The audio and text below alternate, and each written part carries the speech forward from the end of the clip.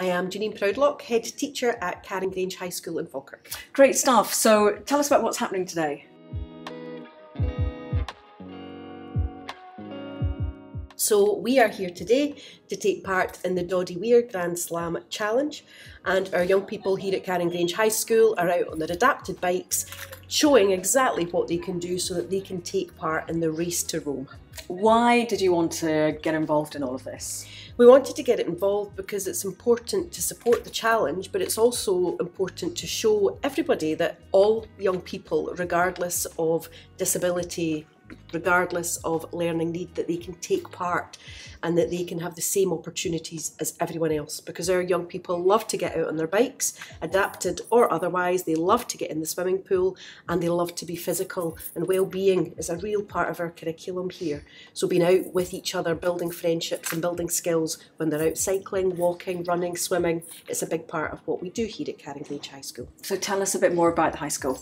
Uh, Grange High School is a severe and complex needs high school here in Falkirk Council and we work with young people from the ages of 11 to 18 with additional support needs, with disabilities and they come here to school to have fun and engage in a learning curriculum that suits their needs. It's very much skills based so that our young people can learn lots of information but it's all delivered through the vehicle of skills to try and ensure that our young people are as independent as they possibly can be when they leave us here at the end of their six years. Why is it such a special place? It's a special place because the young people are amazing to work with. They love learning, they love meeting people and they get a lot of enjoyment out of what they do here. Um, some of them have uh, disabilities but that does not stop them. They try every opportunity that we can give them and we give them lots of opportunities from classroom based activities to outdoor learning which includes paddle boarding, um, swimming, running everything that we possibly can to make them feel engaged with the world around them. And why do you think that they'll enjoy this challenge? What, what is it about this that you think will, will actually suit them to a certain degree? I think it's important because for lots of our young people, they don't really get out into the world around them at times because it can be physically difficult to do that for them and their families. And I think being part of this challenge when we're, we're, we're looking at all of the different places and countries that the, the Grand Slam Challenge will pass through, um, I think our young people will get a wider sense of themselves in the world. They get to see that they are part of something that's happening, not just within their own their own family home, not within their own area, out with Falkirk even. Um, and it's national, it's international, and I think being part of something like that is really important so they can open their eyes and see the wider world around them and how they fit into that.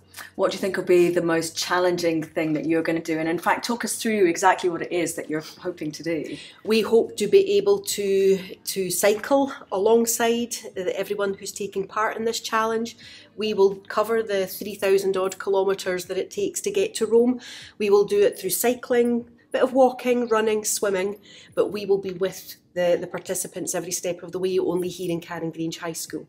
And our young people will all take part, our staff will take part, and we hope our wider community of families will take part too, so that we can build up miles, we can build up understanding of the Doddie Weir Foundation, but also around how our young people can be a part of that. And they will take great pleasure in being part of that, that wider, that wider kind of issue around the world, which is great. What will they love most about it? As someone you'll know a lot of the pupils. They will love the physical activity, they will love being together. Our young people love to take part in things and they love to know that they are making a difference and that they are doing the same thing that everyone else is able to do. So I think for them it will be really important to be part of this. It will be a lot of fun, but it will also help them build understanding of the world around them, but it improves their skills as well, their communication skills, their physical activity skills, and everything we do is built around that.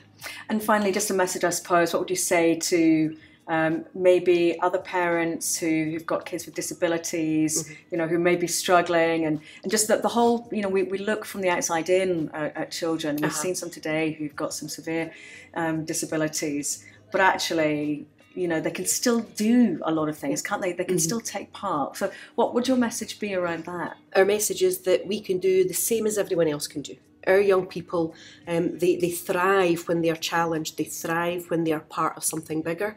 And for us, it's about learning without limits.